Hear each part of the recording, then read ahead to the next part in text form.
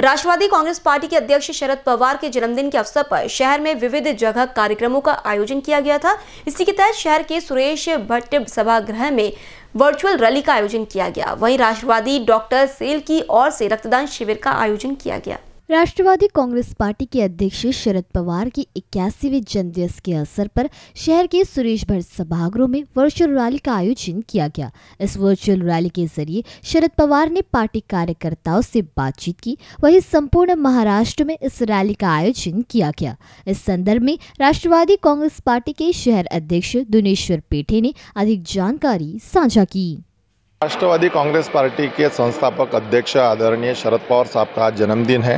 उस लक, उस उपलक्ष्य में महाराष्ट्र के सारे जिलों में सभी जिलों में ये कार्यक्रम होने जा हो रहा है और वो लाइव अभी चालू है।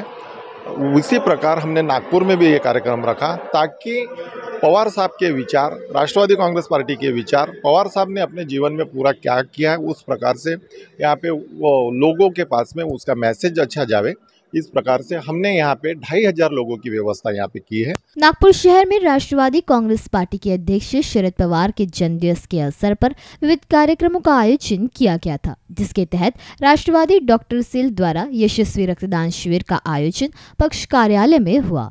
कार्यक्रम में प्रमुख रूप से शहर अध्यक्ष दुनेश्वर पेठे पूर्व आमदार दीनानाथ पडोले पूर्व उप महापौर शेखर सावर बांदे समेत अन्य लोग उपस्थित थे कैमरा पर्सन माइकल के साथ दिशा हटवार पीसीएन न्यूज़ नागपुर